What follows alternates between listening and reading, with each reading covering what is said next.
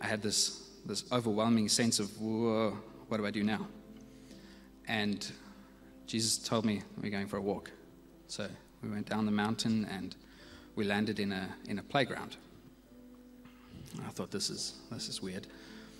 And uh, as, as we're talking and, and Jesus goes off and he goes and hides in a bush.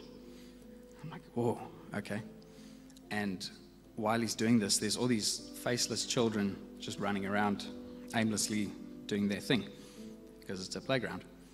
And uh, I start, you know, going after Jesus, and I realize that I'm no longer me. I'm one of these faceless children, and I'm chasing after Jesus. And you know, I get close to the bush, and then he moves to another bush, and he peeks around, and I go and I chase him a little bit, and um, eventually Jesus stops, and and I realize that it's not just me chasing him; it's it's all these little faceless children, and we're all chasing him. So eventually he stops, and uh, and we all go like rugby, huddle him, and and it's really an awesome moment. And all of a sudden, I'm not in me anymore, and I'm third person, and I'm watching this, and Jesus turns to me and he says, "This is how I want you to come. This is how I want you to come." And so, after sharing that with the worship team this morning, we've decided that we need to answer this in a physical way. And so this morning we're going to be worshiping a little differently. Because we're, here. And how else do we become like children, short of running around in our underwear? So we, we thought this would be slightly more appropriate. So, would you please join with us in worship this morning? Lord, and again, just this morning, we want to just repent before you and say that which you have intended for us to relish in and be joyful in your presence. Sometimes we make it such a grown up thing where we stand and it's more like the party where everyone is checking out who's wearing what and who's drinking what and who's who arrived in what car and oh it's not your heart lord. It's the playground and you're the coolest guy on the playground and you're running around and the kids are coming after you because they know that you're the source of fun. You're the source of life. You're the source of joy. You're the source of peace. You're the source of everything that is good and everything that feels good and feels right is found in you, Lord. And thank you that we can come to you this morning and that you just take us as we are and you're not judging us. You just want to be with us. Lord, with this breath in our lungs, we want to praise you and we want to lift you up. You're such a great God. You're such a good God. We worship you, Lord. We thank you that we could come before you like children this morning. Because your word even says, Lord, unless you come like a child, you cannot even inherit the kingdom of God. So this morning, Lord, we thank you, Lord, for how you have revealed yourself to us, Lord, during our worship, Lord. And thank you that we could just come so freely, God, without shame, just before you, God. And you accept us like a father does. We thank you for who you are, Lord. Thank you for your presence that is in this place.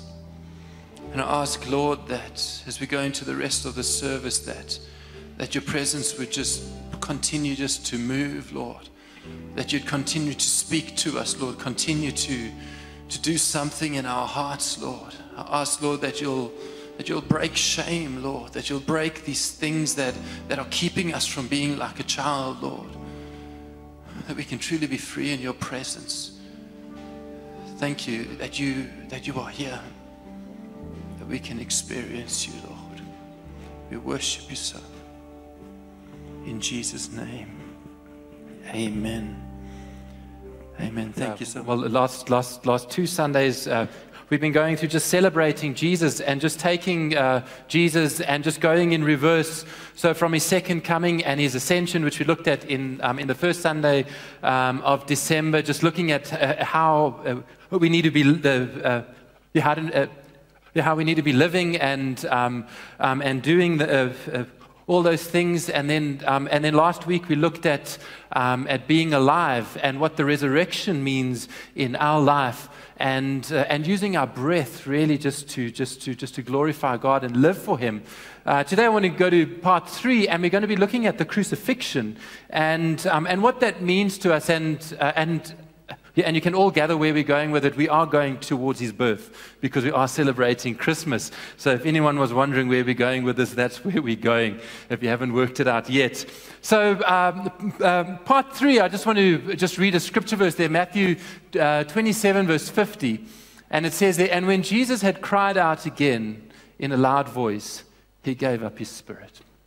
And what I want us just to take a moment this morning is just to think and remember what Jesus has done for us and, um, and why he did that and what it does in our lives and what it means for us as believers. So I just want to close in prayer and then, uh, no, not close in prayer, open up in prayer this message. Sorry, yes. It's been a long week. uh, yeah, I might as well have been on the RFKC camp that happened, you know what I mean? but I'm going to open up in prayer and then we're going to just watch a video before I just uh, share God's word with us. Lord, I ask that you just minister to us, that you just speak to us as I just share this message, Lord, about your crucifixion and what it does in our lives and what it means in our lives. And I ask, Lord, that, that gratefulness would rise up in our hearts and that we'll also just see what it is and that we'd live the way that you have called us to live, Lord. Ask, even as this video plays, Lord, that you speak to us through this video. In Jesus' name. We see the story of Jesus going to the cross, and everything seems to kind of be hand in hand. And then there's this one character that seems to interrupt the narrative. His name's Barabbas. Uh, we don't even know much about him except that he's a murderer, a leader of an insurrection, a rebel, and why he's even mentioned, sometimes I'm not so sure. It's like, what? Let's, this is about Jesus going to the cross. So in this moment, Pilate thinks, I hold the destinies of these two men in my hand. I know the Jews have a tradition that on a holy day, I will release one of the prisoners on death row. Pilate stands on this audacious stage who now presents Jesus, Son of the living God, versus Barabbas, the thug and rebel. He says, All right, who do you want? This is blasphemy. This is this has gone too far. There's no comparison. This is a rightful prisoner, a man who should be on death row. He's a rebel against Rome. He leads a, rebellion. He murders people. He's a bad man. He's a thug and he's a crook. He deserves the chains and he deserves the crucifixion. Jesus, what has he done but heal, restore, deliver, set free, open blind eyes, open deaf ears, heal the lame and the leper? What, what has Jesus done?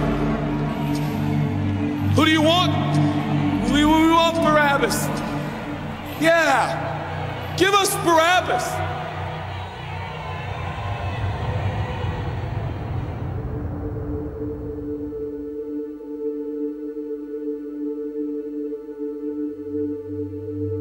People say, Give us Barabbas. The Roman soldiers come up and they put the key in and they unlock Barabbas from his chains and shackles. And he walks down the platform, welcomed by all of his thug friends. Yeah. The people love me. Yeah, that's right. I don't even know who this Jesus guy is, but all I know is my people love me. There seems to be no conscience in Barabbas. There's no record of him turning to Jesus and saying, I owe you everything now, for you have set me free. No, I don't see any of that in Barabbas. And God knew that. Jesus stood there, silent, for he knew the will of the Father. He said, It's fine, Father. Let him have Barabbas. For Jesus knew that the Father would have to treat Jesus like Barabbas so he could treat Barabbas like Jesus. Barabbas thought it was the people that set him free. No, no, no, no. It was the love of a heavenly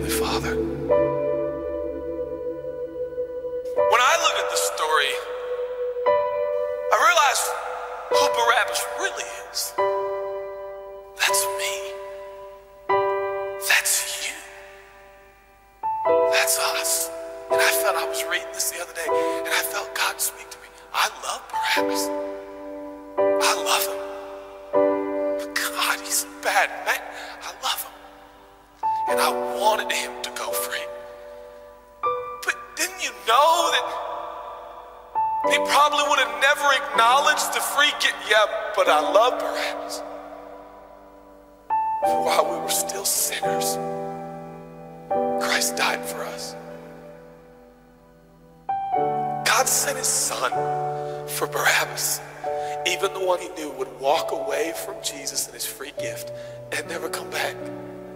He loves him. And the nerve, and the audacity of believers to think, I got saved by grace, but now that I'm in this deep, dark place of bondage, I better work hard to get myself out. What? That's the opposite of the gospel. Are you bound?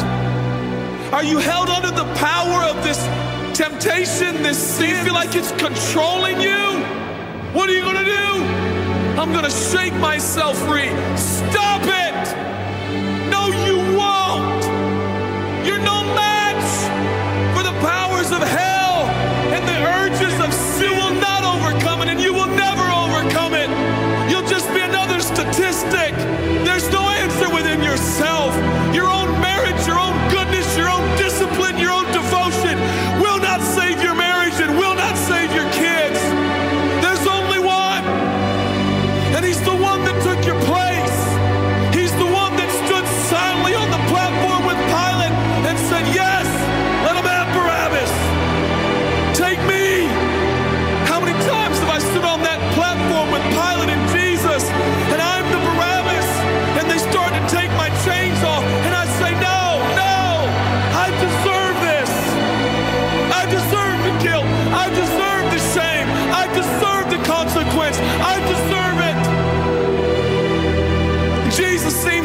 at me say, No, son, let me have it. Let me have your sin. Let me have your pain. No, God, I did it to myself. I deserve it. My marriage won't make it. This is what I deserve. I deserve divorce. I deserve poverty. I deserve sickness. I deserve it all. No.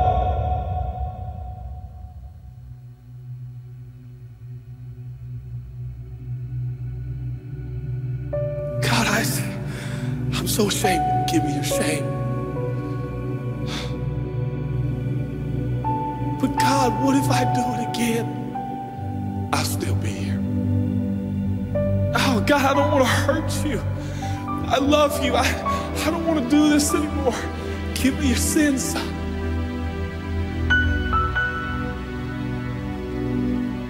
This is all we got. It's all I got. It's all you got. We can play games. We can play church games. We can pretend like some people are better than others and that's why they're blessed, or we can all come to the honest conclusion that it's God. And it's God alone. The greatest challenge is not your discipline, your devotion, your focus. Your greatest challenge is believing the gospel. Could it be that there's a God with a love so scandalous, so wide, so deep, so vast, so high, so expansive, so welcoming, so inclusive? Let me have your sin, son. Okay. And I give him my sin. And I stand in this empty space of forgiveness and acceptance while Jesus walks off to the cross that I deserve. I see him, I see him walking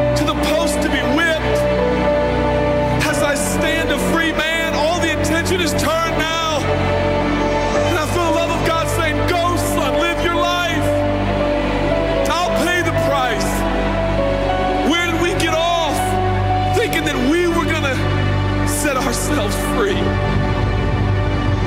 It's still Jesus.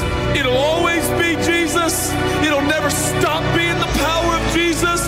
If His blood is sufficient for your salvation, His blood is sufficient to sustain you through every challenge and every sin and every temptation. Jesus is enough.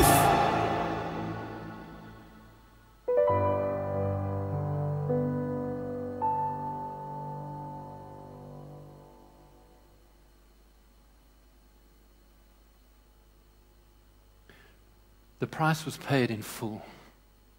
And yet, somehow, us as believers, we still want to hold on to these things. But this morning, I want to, I want to look at, um, at specifically shame in people's lives, especially believers. You know, we, we, we live this life and we've got, we've got so much shame because of what we've done. And, and when we hold on to these things, when we hold on to the bondage, when we hold on to the chains, basically what we're saying to God is Jesus' sacrifice wasn't enough. And that's not the truth. His sacrifice was enough. Was enough so that you and I can walk free, so that our sins are completely paid for. You see, what shame does is it, is it causes us to hide. If you look at Adam and Eve in the garden, they sinned, and all of a sudden they, they realized they were naked. So what did they do? They hid themselves. They hid themselves. And shame does the same thing to us. Some of us hide behind being an introvert. Some of us hide behind being an extrovert. Some of us hide behind joking. Some of us hide behind seriousness. Some of us hide behind watching TV series. Some of us hide behind our jobs. Some of us hide behind all these different things. But it's all just because we're holding on to shame. Whereas the sacrifice was enough. So the question is what do we do with this? We have to run to the right place. You have to hide in the right place. Doesn't help hiding in your own self or in your own life, in your own circumstance, and just and just being like, well, I did it, I deserve it, and that's it. So let me just be. No, it doesn't help.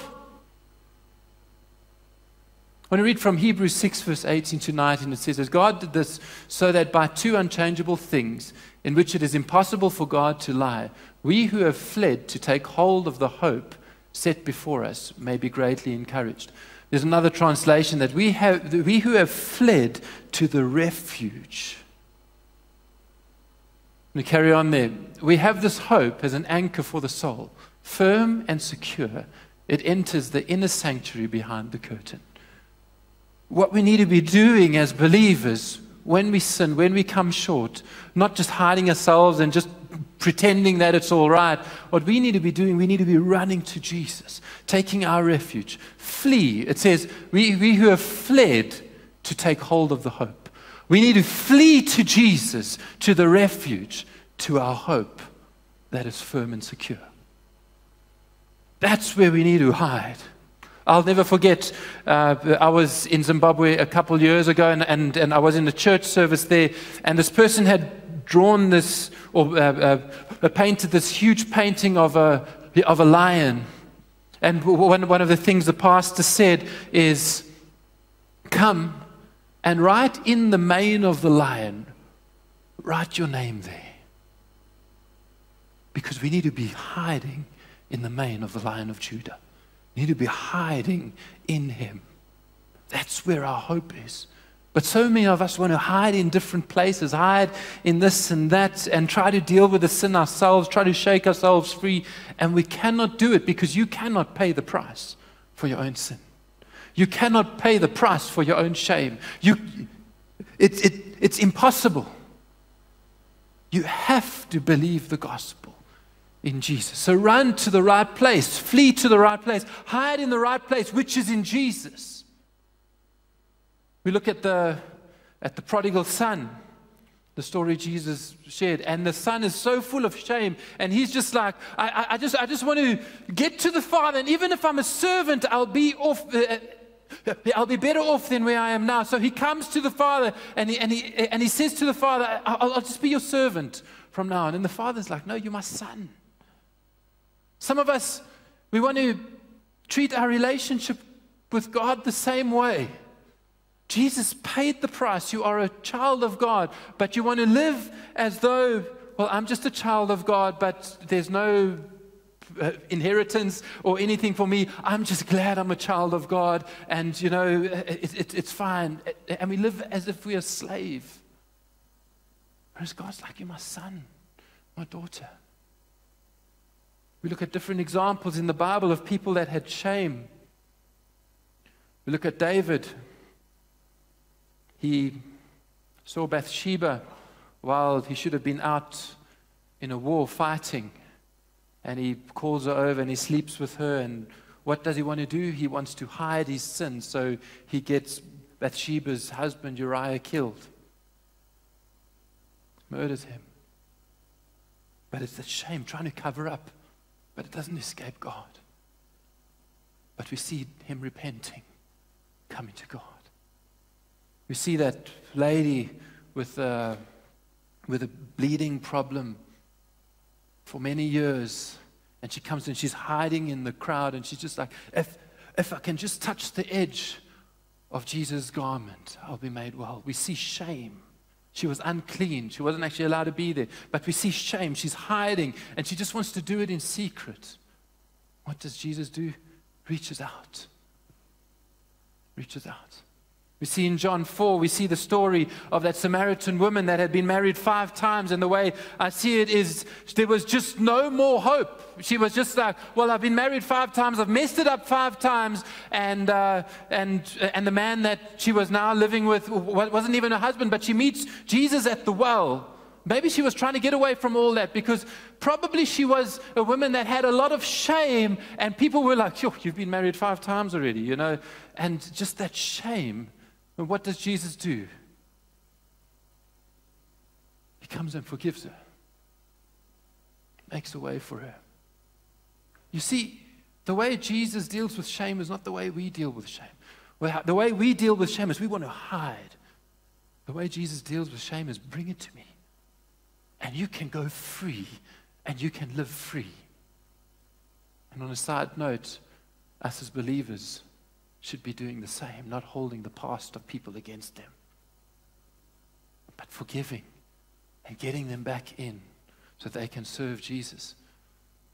There's no other place, Acts 4, verse 12, and there is no salvation in no one else. No, yeah, there is salvation in no one else, for there is no other name under heaven given among men by which we must be saved.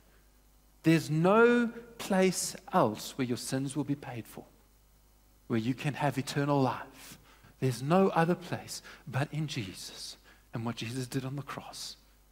And the price was paid in full. He didn't just pay three quarters and say, Well, Darren, you need to work, now work for that last bit so that you can get into heaven. It was paid in full. Cleansed from all unrighteousness. 1 John 1, verse 9 If we confess our sins, he is faithful and just to forgive us our sins and to cleanse us from all unrighteousness. The last time I looked in the dictionary at the word all, it meant all. You know what I mean? It, it meant everything. We are cleansed from everything. There's that statement that says, I'm just a sinner saved by grace. And yes, we are sinners saved by grace. But let me tell you something. If you stay in that identity of a sinner, he will always live in that bondage.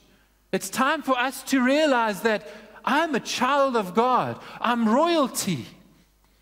Yes, I'm saved, and I, I am free. And when Paul writes to the saints of Thessalonica and the saints of that, you are included in that because you are a saint, because you are cleansed of all unrighteousness. Your sin is not held against you anymore. Why? The price was paid in full. Jesus took all your sin on himself so that you can be righteous. Start to see yourself as righteous. Start to see yourself as a child of God whom Jesus have, has bought, paid with it with his life. But it was the full price. All promises are a yes. 2 Corinthians 1, verse 20. For all the promises of God find their yes in him. That is why it is through him that we utter our amen to God for his glory. You see, all the promises of God are for you, and it's a yes. It's not just a, okay, maybe if you're good enough, well, then you can have that or whatever. No, everything, all the promises are yes for you. The inheritance that you have in Jesus, it's for you. Take it, believe it. You're not just, you, you didn't just slip into the door and maybe you were part of the family or whatever. No, when you accepted Jesus Christ as your Lord and Savior, and yes, you, you repented of your sin and you turned to follow Him with everything, you was, you were set free. You were a child of God. The inheritance is there for you. When you read a promise in the Word that is for believers, you can take that promise. You don't have to just be like, well, I deserve this, I deserve that. And yes, there are consequences, but let me tell you something that God is greater than consequences. And we need to sometimes get past the thing of, well, this is just my life. I messed up, and well, this is it. You need to get past it and be like, I am free in Jesus. He paid the price. It's not a license to sin. I have to put that in there. It's the freedom that we have from sin. We don't need shame anymore. We don't have to live as though we don't deserve anything. Having all sufficiency. 2 Corinthians 9, verse 8. And God is able to make all grace abound to you, so that having all sufficiency in all things at all times, you may abound in every good work. As I said before, the word all means all. There's nothing that is out of that all. So we can have all sufficiency in all things at all times. I need to start believing the gospel. To start to believe what Jesus did for us on the cross. It was enough, it was sufficient. It paid the full price for us. So, what I want to just challenge with you, you, you with at the end of this service, just Go to God and believe the gospel. Jesus paid the price in full. You no longer have to live like an orphan. You no longer have to live like a slave. You no longer have to live like someone who's just an outcast or someone who just slipped in at the last moment or whatever, and maybe you're making it. No, you can live as a fully fledged child of God, set free. The inheritance is for you. You are an heir of the kingdom. It's for you. The promises are for you. The forgiveness is for you. The, the, the, the purity is there for you. And it's sufficient. God is able to make His grace, all grace abound to you.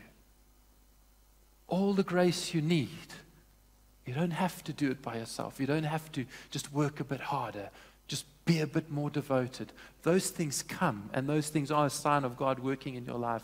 But that's not how you get there. You are free, you are a child of God. So that you, having all sufficiency in all things at all times, you may abound in every good work. Let's believe the gospel. Let's believe what Jesus did for us on the cross. Let's pray. Lord, I thank you for this morning, and I just ask, Lord, that through simple words, that you reveal this truth to us. I ask, Lord, if there's anyone here that is sitting and just has shame, I ask, Lord, that, that, that you would just take their shame away as they give it to you. That they'd realize that they don't have to be ashamed about the things that they've done. You've taken it, You've paid for it on the cross. There's no more shame. I want to ask for people that are struggling with sin and just not seeming to get over it, Lord, you paid for that on the cross, Lord. They can walk free. The chains are broken. I ask, Lord, for people here that just don't see themselves as, as fully fledged children of God. I ask, Lord, that you'll reveal to them that they are your children, that the promises that, you that, that the inheritance that you have for them is theirs. They can walk in it. And I ask, Lord, that, that each person, yeah, Father, even for myself, that we would realize that your grace is sufficient for us and that you and that you give it to us, Lord, so that we can have all sufficiency, that we can have sufficient for everything, all things at all times, Lord. We're not beggars, we're not orphans, we are your children. We have everything we need in you. We thank you, Jesus, that the price was paid in full. I ask, Lord, that you reveal that to us. We thank you for this in Jesus' name. Amen.